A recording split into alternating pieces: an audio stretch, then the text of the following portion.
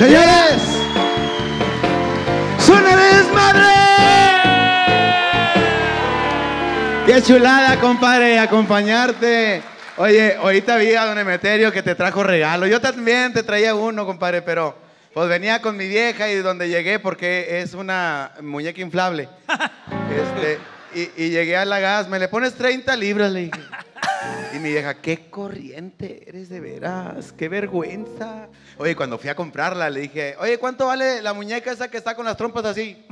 Dijo, y me dijo, "Eh, es, la dueña de- del lugar, oiga. Este, "E- eso no se vende.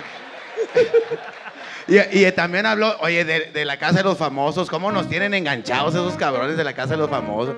Me invitaron, pero yo no quise ir. Ay, pero no. Oye, ni- y por la abstinencia, oye, ahí no cogen, oye.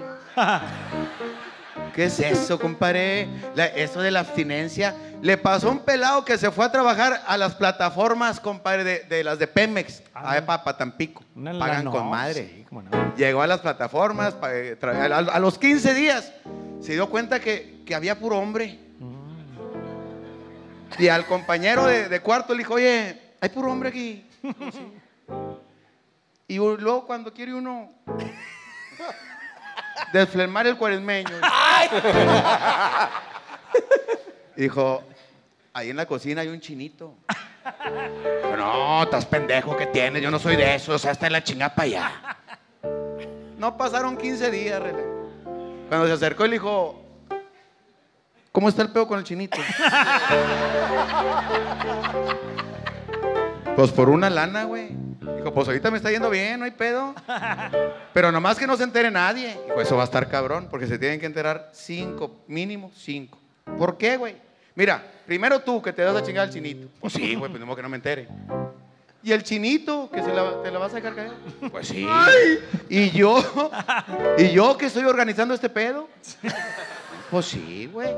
¿Y los dos gra- grandulones que están ahí también? ¿Y esos güeyes por qué?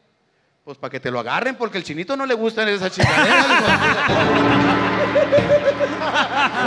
Imagínate al chino en la cocina cuando venga así. eh, puto, eh. No, hombre, compadre. Eh, fíjate que ese rollo, porque estoy bien contento porque va a ser papá mi compadre otra vez. güey. ¿A poco no? Festejando cumpleaños, festejando que, que, que embarazó a mi comadre.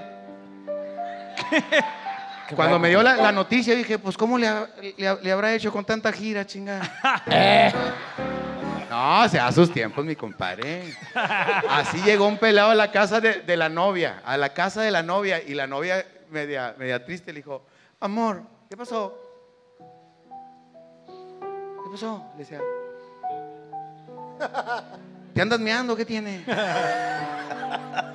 Estoy retrasada. Amor, exagerando, estás apendejada, pero retrasada. no, no me ha bajado. En ese momento sonó el teléfono de la sala. compadre. Le hablaron de la Comisión Federal de, de Electricidad. Le dijeron la- las puras siglas. Estamos hablando de la CFE acerca del retraso que tienen ahí en esa casa.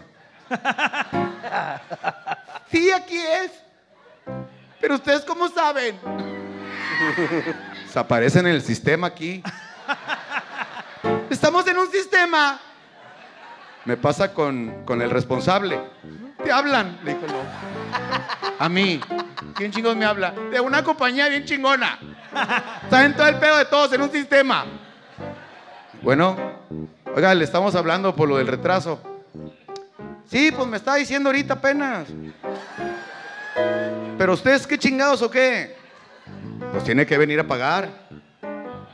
No, se me cae un error porque co- con ella es de gratis. Este. O sea, sí le pagaba, pero una hamburguesa o así nada más. ¿Y cuánto se debe? 3,800. No, hasta eso, dijo, el precio se me hace justo. Dijo el vato, dos años de estarme la cogiendo. Echó cuentas como a 17.50 le costaba cada vez que se la chingaba. Le dijo, pero pues no traigo lana. Dijo, ah, bueno, para irse a cortar entonces. Ah, no, no, dijo, yo me presento ahí como quiera. Muchas gracias por, por la